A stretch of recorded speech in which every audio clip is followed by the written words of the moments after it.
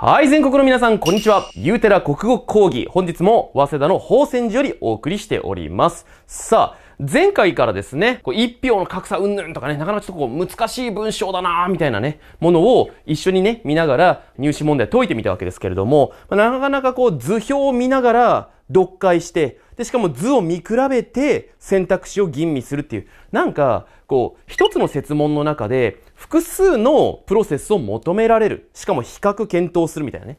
これ、なかなかこう、入試問題の中でもかなり実学寄りというかね、データとデータを見比べて、その上でその優位さみたいなものを検証していくというかさ、うん、なんかこう学問っぽい入試問題なんですよね。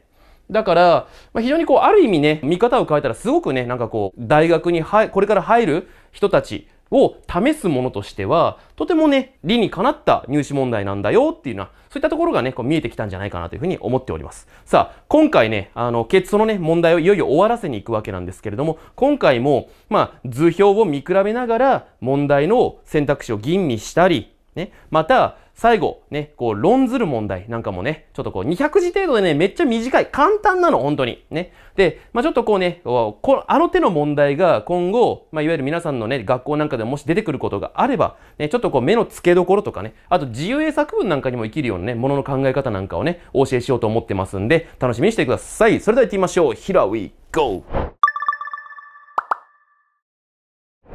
はい。それでは前回の続きからいきたいと思います。前回ですね、まあ、あの、ここまでね、解きましたよね。あの、問いを2つね、解いたわけですが、この後いきます。さあ、どういう文章だったか。皆さんはこちらを見ながら聞いててください。次に、地方圏と都市圏という大雑把な区分ではなく、選挙区ごとの1票の価値を比較しましょう。選挙区ごとの1票の価値を見ていきましょうねってことですね。今まではさ、都市だの地方だのっていうところの1票の格差っていうものを検証してきたよね。今回からは選挙区ごとでちょっとこうね、見ていこうよっていうね、話になってるわけだね。ちょっとこうなんかね、いわゆるターゲットとする場所を変化させてみましたよって。で、そこで、表1、これね、これね。表1は、各々の選挙区における1票の価値に基づいて定義された全選挙区にわたる1票の格差に関する指標の時間的な推移を表しますと。まあ、この最大格差だの云々っていうのはね、結構大学に入ったらね、比較的ね、あの、統計ってね、まあ、例えば早稲田だったら、まあ、どの学部でも理系文系問わず、まあ、まず必修になってると思うし、あと他の大学でも結構大学1年の時に必修になり、なる科目なんですよね。だからね、統計とかやってるとね、この辺わかるんだけども、まあ、今高校の数学とかでも確か統計ってなかったっけな？あったような気がするんだけどな。まあ、どうなんですかね？うん、まあちょっとね、ついてこれてほしいんですけどね、このぐらいの話はね。はい。えーいきますよ。表中の下線部は議員定数が改定された年を表します。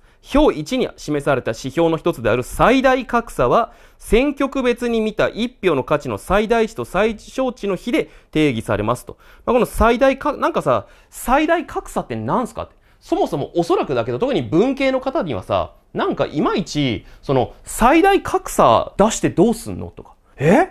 なんで、一票の価値の最大値と最小値を、この後に来る、計算みたいなことしないといけないのってこれですね。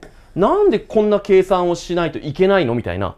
結構ね、なんか世界観というか、この計算の概念みたいなものが、なんかシンパシーできない方も多いと思うんですけれども、ただ、シンパシーできない時は、もうシンパシーできないながらに、もう呼び進めてください。こういうもんがあるんだ。なんかこういうのを出すと、なんかどうやら、ね、この選挙区ごとの一票の価値の比較っていうのがどうやらできるらしいよぐらいに思って、現代文的に処理しよう。本当にそいつが言いたいことが分かってるわけじゃないけど、でも言わんとしている論筋だけは追っかけてるよっていう、あの現代文の能力で処理しましょう。うん。なんかいまいちなんで最大格差なんか出すのとかね。最小値を最大値。え、なんでこんな計算すんのって。わかんない。でも、これを出すことで、どうやらなんかわかることがあるらしい。選挙区ごとの一票の価値の比較ができるらしいっていうね。そういうことで読み進めればいいです。で、この辺は、ま、なんか、あの、ここのね、あの、表を見て、ああだのこうだの言ってるだけです。で、ここからいきます。はい。最大格差はメディアや裁判所などで対応される一票の格差に関する最も一般的な指標なんだって定義づけだよね。一票の格差に対する最も一般的な指標が最大格差なんだってね。最大格差とはっていう定義づけだよね。ここは絶対線引きだ。で、しかしそれでは捉えきれない格差があるんだ。じゃあ、最大格差だけでは見れないものを図6で見ましょうってことで図6が紹介されてるわけだね。図6っていうのはどういうものなんですかって言うと、こういうものですってね。さあ、どういうものですかって。えーっと、縦軸、横軸、ね。横軸は選挙区における1票の価値。縦軸は横軸に示された1票の価値を有する選挙区の数が全選挙区数に占める割合を表してますと。うん、なんかいまいちよくわからないけど、まあまあ進んでいきましょう。で、A においては1票が相対的に重い選挙区と軽い選挙区がそれぞれ5%ずつ存在し、うん、そうだね。まあなんか、こっちは軽い、こっちは重いわけでね。1.5、0.5が、まあなんか5%ずつありますよって。で、この1っていうのは1票の差がないわけでしょ ?1 票の価値の差がないわけだから、まあまあ、ここが多いっていうのはなんかいいことなような気はするよね。うん。それで、B においては、1票の価値が中程度の選挙区が少数ある以外は、それが相対的に重い選挙区と軽い選挙区が残りを二分してます。そうだよね。だって、さ、こっちは55しかないのに、こっちの B はさ、48、48、4だよ。うん。これさ、なんかここが多いのが一見いいような気がなんかするけどね。一票の価値の差がそんなにないわけだから。ね、格差がないってことですから。だけど、なんだこれはって感じがしちゃうよね。なんか、すごいこう格差がある感じしちゃいますよね、これだとね。はい。そいで？で、それが相対的に重い選挙区と軽い選挙区が残りを二分してます。2、一方で3。なぜなら最大格差が選挙区別の1票の価値の最大値と最小値のみで定義され、それ以外の1票の価値のあり方を全く反映しないためですってね。はあ、まあそういうことらしいですね。はい。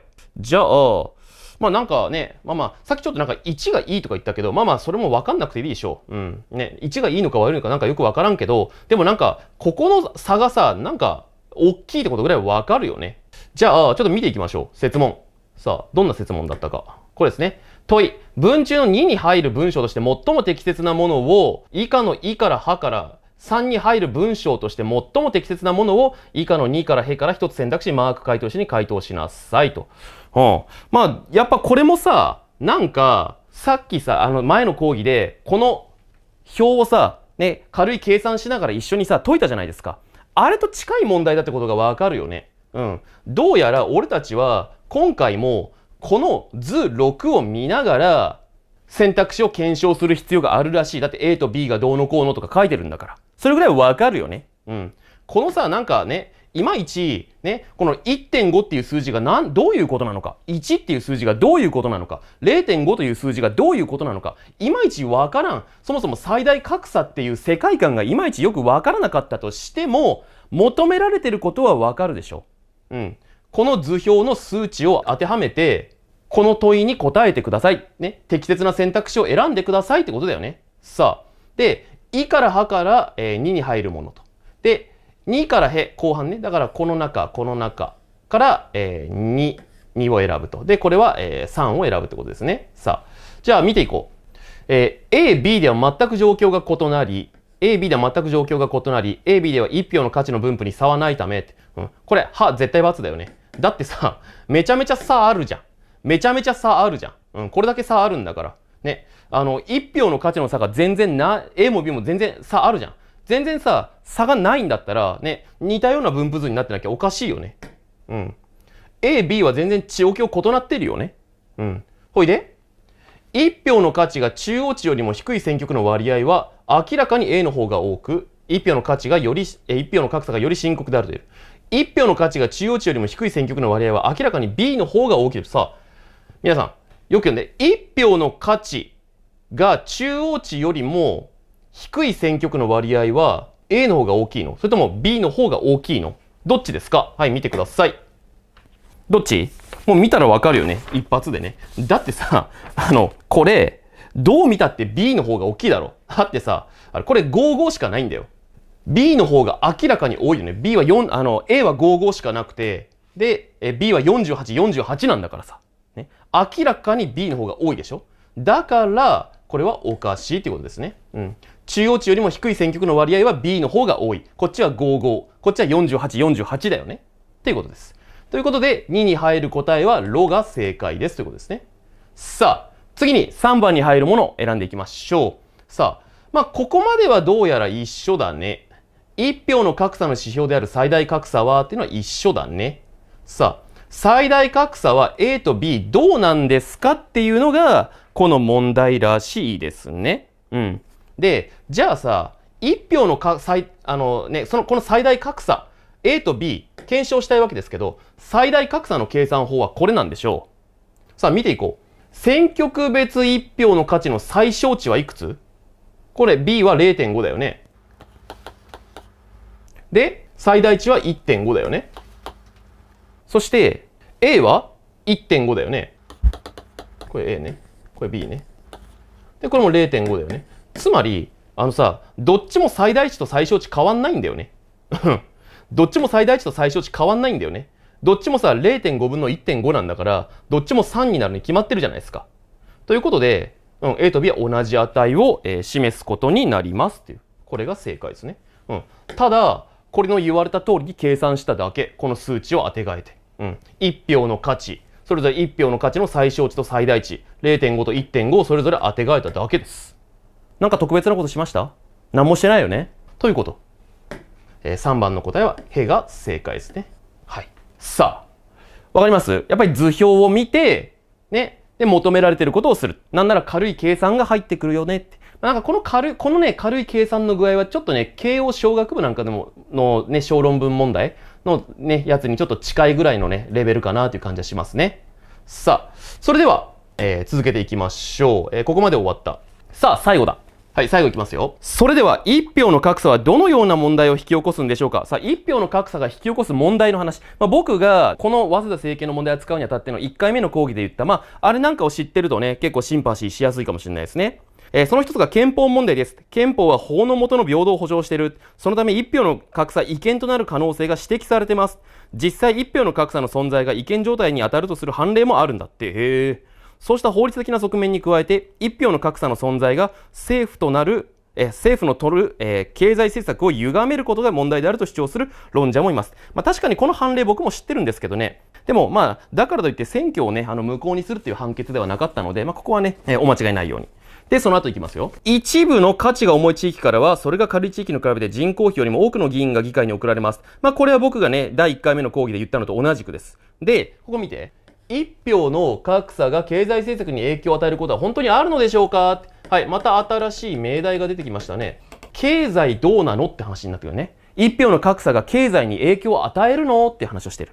で、すると、ね、まあデータをちょっと見ていくとだね、みたいな。すると、ここ見てください。図7から1票の価値が重い都道府県ほど人口1人当たり国庫支出金の額も多くなる傾向があることがわかります。1票の価値が重いね、ところの方が、なるほどと。なんか国庫支出金はたくさん出てるらしい。ね、補助金が出てるらしいね。つまり、1票の価値が重い地域ほど多くの補助金を受け取っているという説、仮説を支持する証拠が得られたことになりますってね。バシッとね、影響あるんだよって話にね、落ち着きましたね。で、その後、ただしと来てる。図7だけから1票の格差が補助金の格差を生み出すという因果関係を導くのは早計です。ほう。まだ早いよって。そのような因果関係とは別に次のような説明も成り立つよ。1票の価値が軽い都道府県はもともと人口が多いので税収も多く、そのおかげで中央政府からの補助金に頼る必要性は高くありません。なるほどね。他方で、まあ、田舎はね、あの、税収少ないから、それはね、補助金あってもいいんじゃないのっていうお話がなされてるわけですね。うん、まあまあまあまあね、その辺はわかるよね。で、従って、ここ、従っていいか？一票の格差が国庫支出金に影響を及ぼすという結論を導くには、単に相関関係を示すだけじゃなくて、相関関係を因果関係と捉えることを正当化する、えー、論拠を示さなければならないといけないのです。相関関係だけじゃダメだよってね。因果関係も欲しいよってね。難しそうだね、でもね。証明するのはね。はい。で、まあ、図7がこうやってあるわけだね。で、えー、最後、最終パラグラフです。で、最終パラグラフ、1票の格差が補助金額の違いに与える影響をより正確に測ろうとする試みもある。我が国の衆議院選挙、小選挙区選挙では、96年の選挙以降、1票の格差が縮まりました。もともと1票が重かった地域ではそれが軽くなるように、1票が軽かった地域ではそれが重くなるように議員定数が改定されたんです。そこに着目して地域ごとに生じた1票の価値の変化が、それぞれの地域に配分された補助金額の変化に与えた補助金額がどう変化しているかを見るため、ね、選挙制度改革前後に補助金額がどう変化しているのかを見るため、選挙制度改革の結果変化した1票の重み以外の要因が補助金額の変化に与えた影響を取り除くことができますって。これね、防線文のとこね。選挙制度改革の結果変化した、要は、一票の重み以外の要因を取り除くことができるんですっていうことが、これがね、このね、下線部なんですよね。さあ、それじゃあ説問いってみましょう。説問見てみると、河川部1において取り除くべきではない要因。取り除くべきではない要因はどれですかって河川部において。取り除いていい要因は何？皆さん。取り除いていい要因は何？取り除いていい要因は、一票の重み以外の要因でしょ？ね？だから一票の重み以外の要因をちょっと探そう。一票の重み以外の要因はどれ？一票の重みと関係ない要因は。まずさ、文化関係ないでしょ？ね。一票の重みの話の中でさ、ね、文化のレベルに応じて一票の重みを与えるみたいな話ないじゃないですか。ね。それだったら京都とか超有利だよね。で、その地域の産業構造。うん。産業が栄えてる地域には、たくさん票を上げようとかさ、なんかね、定数を与えようとか、そんな話一切なされてないよね。で、その地域の経済成長って言ったらね、東京有利ってこと？と 違うよね。で、税収も関係ないよね。うん。要は、まあ、一票の重みの話で今までさ、俺たちが触れてきたのは、なんか人口がどうのこうのとかさ、ね。それから議員定数がどうのこうので、それでなんか一票の重みに差が出るんだって話が出てきたじゃないですか。だから、もう一発でまず、意図2以外は絞れるんですよ。とはいえ、さあ、まだ2個残ってる。まだ2個残ってる。どうしよう。この問題だけちょっとややなんですね。ややなんです。その地域の人口と、その地域から選出される議員定数。さあ、どっちもなんかね、今まで、ちょっとこう、ね、あの、一票の重みの話の中で関わってきたことだよね。じゃあちょっともう一回本文見てみて、ちょっとなんか他にヒントないかなって、ヒントが必ずあるはずですから。で、分析してみると、見てください。この分析、この試みでは、ね、この試みにおいては、見てください。同じ地域の中で、選挙制度改革前後に補助金額がどう変化しているかを見てるわけだよね。要するに、選挙制度改革前後の動きで変わるもの、選挙制度前後の動きの中で変わらないもの、変わるもの、変わらないものあると思うんだけど、見てください。地域の人口、選挙制度改革の前後で変わりますか？うん、選挙制度が変わった。だから僕は神奈川から千葉に住もうみたいな、そんな人見たことありますか？ないでしょ。うん。要は、この1票の重みと、その地域の人口は別に選挙制度の前後で変わるものじゃないから、無関係だよねと言えるわけなんですよね。うん。一方でさ、考えてよ。その地域から選出される議員の数。これが変わっちゃったらさ、それも一票の重みにダイレクトじゃないですか。だって、ね、あの、要は議員定数の枠が3だったのが2に減らされたとかさ、ね、3が4に増えたとかさ、ね、これってまさに一票の価値の重みにダイレクトに効いてくるでしょ。だから、一票の重み以外の要因とは言えないよね。っていうことなんですよね。一票の重みの要因そのものだから、こっちが答えになるということです。この問題だけちょっと難しかったね。意図2のね、あの、ね、分析、判断がちょっと大変な問題だったかなと思いますね。うん。でも人口人口って言われてきてはいたからね。だけど、よくよく考えてみたら、あの、まあ、人口の話って基本的にここばっかり、ここしかないんですよね。他って、やっぱ議員定数の話がずっとなされてるんでね。うん。一票の思いの話と。議員定数なの、ずっと。うん。っていうことなんですよ。うん。で、ここもだ、ここだってさ、ね、あの、選挙区の中でのこう、議員定数の計算ですからね。だから、ずっと議員定数の話がなされてて、なんか俺たちはなんとなくさ、人口もさ、なんかね、関わってきそうな感じ、じあの、一票の格差に関わってきそうな感じになんかちょっと錯覚しちゃうけど、実はこの本文では、あの、人口の話って最初でしかしてないんだよね。これ結構トラップな問題だったなというふうに思いますね。はい。それでは最後いきます。さあ、この問題面白いですね。この日の最後の講義において、以上の理由から一票の格差をなくすことが大切ですと講師が述べたとする。それに対する反論だって。反論を求めてるの。反論を理由を一つ述べた上で記述回答用紙に書きなさい。ただし、論述の最後は、以上の理由から一票の格差の行き過ぎた税制にも問題があるであるとする。で、ここだよね。要は、何を書かないといけないか。ね。この手の記述問題は、何が聞かれてるから何を答えないといけないのかっていうのを正確にまずキャッチしてあげる。俺たちは、この問題で求められてるのは、以上の理由から一票の格差の行き過ぎた税制にも問題があるっていうふうに終わらないといけないんだから、つまり、この一票の格差の行き過ぎた是正に対する反論を述べないといけない。要は、是正することによって生まれるデメリットを書かないといけないんだよね。うん。ここでね、まあこれなんかはこう自由英作文とかでも聞いてくるんですけど、もしね、この手のもので皆さん書く内容に迷ったら、困った時の子供と経済って覚えておいてください。あのね、どんな時もね、結構子供と経済ってね、正義になりやすいんですよ。例えばさ、じゃあね、東京オリンピックやるだのやらないだのってさ、あの問題になったことあるよね。うん。やるで書くんだったら、だってオリンピックは子供に夢を与える。ね。経済成長を促すってね、言えるじゃないですか。とかね。他にもいろんなことに応用が効きます。子供と経済っていうのはね。っていうことなので、子供と経済を、ある意味、盾にするっていうね、まあこれちょっとね、あの、こういうね、論述系の、あの、解放テクニックになるんですけどね。まあ悩んだらそれを書いてあげてください。で、まあ今回は、まあいわゆるね、あの一票の格差、都市 VS 地あ、ね、地方っていうような、ね、あの、形があるので、まあ、経済の方が書きやすいかなというふうには思いましたよね。で、あともう一個論述問題で重要なことは、まあ、この問題ね、あの、記述回答用紙に書きなさいで、まあ、ちょっとね、用意できなくて申し訳なかったんだけど、だいたい200字ぐらい書けるかなぐらいの問題だったんですよ。で、200字程度の記述回答用紙って、正直ね、何も書けないよ。うん。あの、ちょっと意見言ったら、もう少しだけね、なんか2、3言いたいこと書いてもうおしまいですよ。だからすぐ書き終わるから、この程度のものは臆せず書けるようにね。もう論述と言えないレベルですから。さあ、で、まあ、結構この問題の回答をね、まあ、あの、いろんな出版社さんやね、あの、インターネットでね、模範回答みたいなものがあったんですけど、やっぱりさすがにね、結構、あの、立派な回答が多かったです。で、僕は自分の塾でよくあのね、平回答というものを発表するんですね。要は、平回答って何かっていうと、まあ、現実的に、ね、このぐらいは作れるでしょみたいな。できる限り本文の言葉をね、なるべくそのまま採用してあげて、ね。で、このぐらいのものは作れるんじゃないのっていう、いわゆるまあ合格ラインを超えた、現実的に受験生が作れそうな答案。それを平回答と名付けて、うちの塾で、よくね、早稲田法学部の講義なんかをやるときはね、作ったりするんですけれども、ちょっと平回答をね、えー、お見せしたいと思います。はい。